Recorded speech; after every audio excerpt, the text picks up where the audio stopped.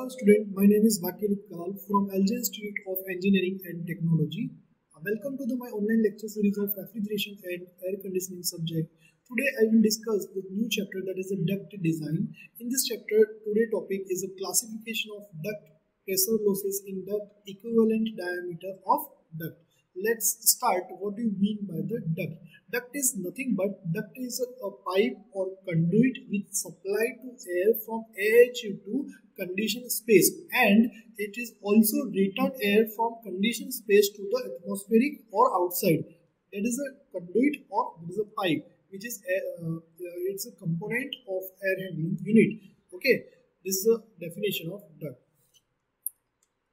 This is our duct. This is uh, duct. It may be a cross section like a rectangle or circular or like a ellip- elliptical. Okay, this is all are the duct which supply uh, air, cold air or warm air, cold or warm according to the requirement from AHU, AHU to conditioned space or desired space, conditioned space that is known as a duct. AHU is nothing but air handling unit which consists of fan and filter etc. Fan, filter etc. This is our main funda- fundamental purpose of the duct. Okay, the duct. This is the definition. Duct are conduits or passages used for air distribution in air conditioning system. Basics of function of the duct. There are five uh, designations of duct. First type is a supply air duct. Supply duct is nothing but air supply from AHU to conditioning space. That is known as a supply air duct or we can say main duct. Okay. Uh, supply conditioned air from AHU to the conditioned area. Return air duct. Return air duct is nothing but it takes a air return from conditioned space to the again AHU. Next is fresh air duct. Fresh air duct is a supply outside or outdoor air to the AHU. That means if uh, this is our suppose this this is our AHU component and this is our outside air comes into the AHU and this is supplied to the our conditioned space or. This is the fresh air duct. This this ducts is usually fresh air duct. This is our uh, supply air duct and this air is again returned to uh, supply to the AHU that is known as a return air. This is the definition. Next, fourth is exhaust air duct that carries or discharge air to outdoors. That means uh, remaining air after return air duct is supplied to the uh, outdoors. Exhaust air is taken from toilets, kitchen, laboratories, and other areas requiring ventilation. That is known as the exhaust air duct. Fifth one is a mixed air duct. Mixed air from outdoor air and return air, then supply this mixed air to the AHU that is known as a mixed air duct. Next topic is the duct classification. Duct, duct classification are mainly in losses of velocity and pressure. Duct pressure classification influences duct strength, deflection, and air leakage. If pressure is high in the duct, that means uh, uh, condition occurring like air leakage, maybe deflection, the strength of duct is reduces. So its pressure of the duct is like a, according to requirement. So and next is further classification that's a duct velocity that influence noise, vibration, friction losses, and fan power. If velocity in duct of air is a way more high, that means vibration occurs and noise level is increases. So according to low velocity, ducts are three types: low velocity, medium velocity, and high velocity. And according to pressure classification, the ducts are classified.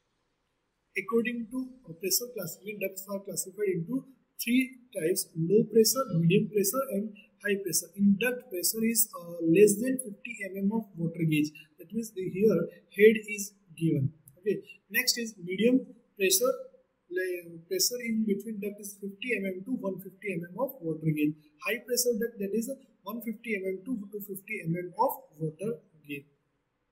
Next is generally good engineering practice for so medium pressure for primary air duct are used and low pressure for secondary uh, secondary ducts is used. General good engineering practice are medium pressure for primary air duct are used low pressure for secondary duct are used.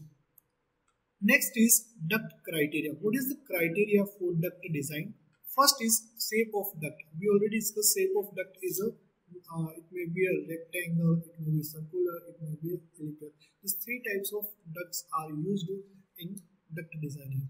This is our circular type duct, this is our uh, rectangle type duct, this is our elliptical type duct. Next is aspect ratio. This is the main criteria for designing of duct. Aspect ratio of duct. Aspect ratio of duct is nothing but it is the ratio of width upon depth. Sometimes it is written as W also. So B by D ratio, B by D ratio or we can say W by D ratio is called aspect ratio. The aspect ratio is the relationship between the width and height of duct expressed as a ratio of W by H. W by H. Suppose like a, this is our rectangle cross section of duct that is a W width and that is a H. So ratio of aspect ratio W by H. Okay. Next is a, uh, increasing the aspect ratio increases both the installation cost and operating cost of the system. If aspect ratio is increases, so installation cost and operating cost both are increases. Okay, and an optimum aspect ratio can be between one to three, one or three, one and one to three, or one and three is aspect ratio. That means uh, B by D or or W by H is equal to one or three. That is our aspect ratio. Next is pressure in the ducts. Uh, static pressure. First of all, what is static pressure? It is the pressure on duct wall. Duct wall. So pressure exerted on the duct wall. There's a air is flowing from left to right. So pressure exerted on this duct wall. That is known as static pressure. If a fan blowing into a completely closed duct, it will create only static pressure because there is a no air flow through the duct. There is a no air flow through that, that is known as static pressure that is in short we can say SP. Next is dynamic or velocity pressure VP. Its kinetic energy of the unit of airflow in air stream. The dynamic pressure is a function of both air velocity and density. If velocity is increases, the pressure is increasing and density is a function of velocity and density. So dynamic pressure is given by rho v rho v square by 2. So dynamic pressure increases if velocity increases. Okay, this is our dynamic pressure. The total pressure is nothing but the summation of the both SP and VP. That consists of pressure of air exerted in the direction of flow, in the direction of flow or velocity pressure, plus pressure air, air exerted perpendicular to plenum of container through which the air is moves, through which air is moved.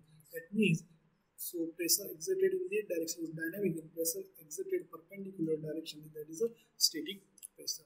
That is the formula for total pressure PV plus PS. PT uh, stands for total pressure, PV stands for velocity pressure and PS stands for static pressure. Next is pressure losses in the duct. Which type of pressure losses in the duct? First, the system resistance in duct work has uh, three components friction losses. First is friction losses due to friction, pressure loss due to friction. Resistance to air flow caused by duct size, roughness of duct, wall and air velocity. Is the friction losses. Next is dynamic losses, resistance to air flow. Means uh, to resist the flow of air caused by change in air velocity. Uh, if you change the velocity, that means resistance to air flow in direction as a bend. If you use if you use bend, that means uh, dynamic losses are occurs. Next is equivalent pressure load resistance to airflow caused by component such as diffuser, coil and filters. If these components are used that means uh, we call it as a equipment pressure loss. Because of used equipment that means pressure is pressure losses. Next is pressure loss due to friction in ducts. First we studied pressure loss due to friction in duct. So already we know that uh, in uh, Darcy-Weisbach equation flow through fluids in a fluid mechanics, what is the friction losses? What is friction losses? So formula is given in that is the pressure losses PF is equals to FLV square 2DH. Here, what is 2DH? That is a DH. That is a hydraulic mean depth. That is a DH. So formula PF is equals to FLV square divided by 2DH. That is our formula. This is known as a Darcy-Weisbach equation from Darcy-Weisbach equation. There is a pressure loss. Pressure loss due to friction by using of this formula. What is DH? DH is hydraulic mean depth. What is PF? Pressure loss due to friction. F is a frictional factor depending upon the surface of the duct. Next, length of duct, uh, density of air, rho, and that is V is the mean velocity of air in duct. These all the parameters we already studied in a fluid mechanics subject. That formula is used here, pressure loss due to friction in ducts. DH hydraulic mean depth. Now, how to calculate hydraulic mean depth? What is hydraulic mean depth? Cross section area, that is a cross section area A by B, perimeter of the duct. Cross section area and wetted perimeter of the duct, that is a hydraulic mean depth. Okay, next for circular, uh, for rectangular, hydraulic mean depth is a AB divided by 2A plus B. How it is come is equals to what is this A by perimeter what is area a into b that is our rectangle size is a and b are sorry.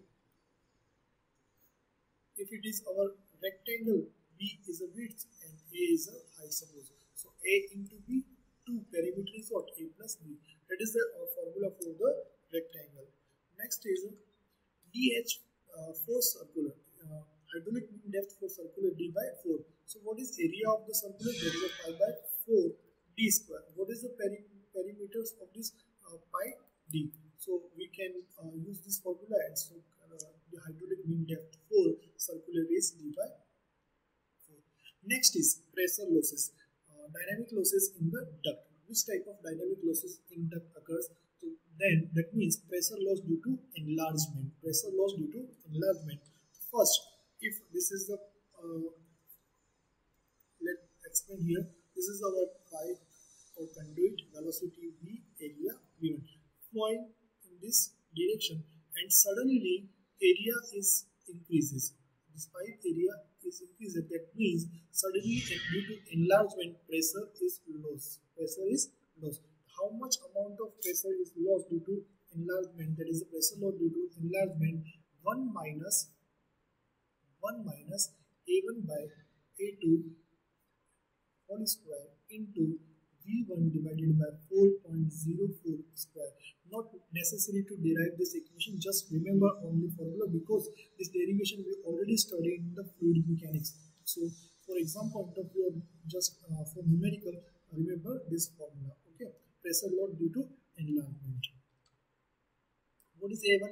A1 is the cross section area at here. Cross section area here, and A2 is what? Cross section area here and v1 is the velocity at here and v2 is velocity of here okay. c1 is what uh, 1 minus a1 minus a2 uh, a1 1 minus a1 by a2 whole square so we assume a uh, coefficient one factor that is a c1 that is known as a c1 so formula for the pressure is cr into c1 v1 by 4.04 square and final formula of the pressure loss is this one okay Next is pressure loss due to contraction. So pressure loss due to contraction just opposite of the pressure loss due to expansion. Just condition are opposite. Area is suddenly decreases or contraction. That's why the formula is 1 minus a1 by a2 raised to uh, square into v1 same. Formula is the same, no changes. And c1 is a v1 by 4.04 raised to square. And c2 is a two constants are here we assume. Okay. Next, uh, derivation and theory equivalent diameter of circular duct for a rectangular duct. That means we calculate the equivalent diameter for circular duct for a circular rectangular duct. So it means we calculate the circular uh, duct for rectangular duct. That means if rectangular data is given, we calculate the diameter for it but some conditions are applied. So let's start case 1 for this. Case 1 is what? When the quantity of air passing through the rectangular duct, that means quantity, this is our rectangular duct and this is our circular duct. The quantity of air that is known as a discharge passing through the this both duct, this discharge is the same for rectangular or for uh, circular. So how to derive this formula? First, velocity of air passing through the circular duct. What is the velocity of passing through a circular duct? That is only just apply continuity equation VC Q by AC. This is the for the uh, from this continuity equation.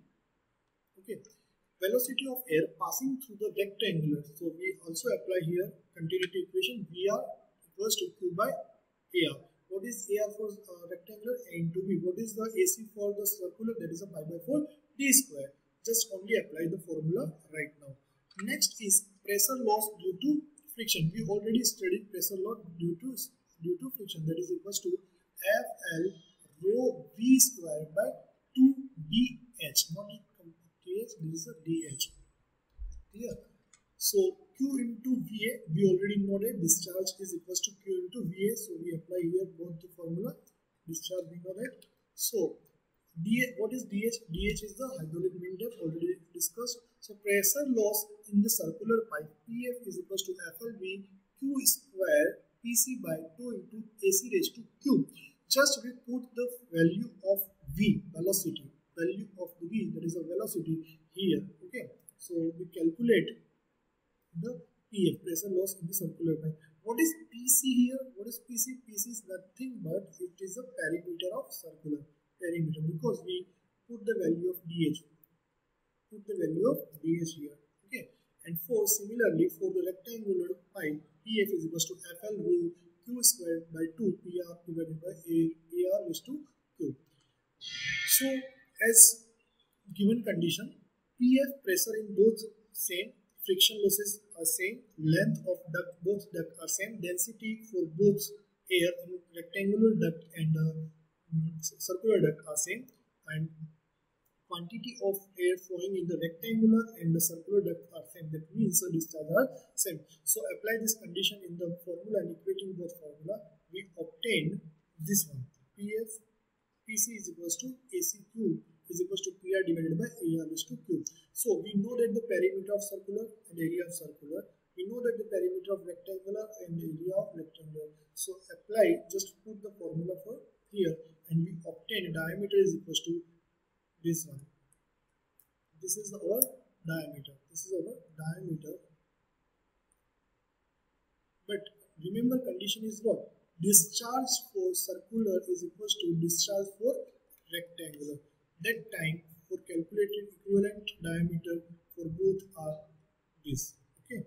So remember this formula. We use this formula in the numerical. Next is equivalent diameter of circular duct for rectangular duct. Case 2. Case number 2. What is case 2?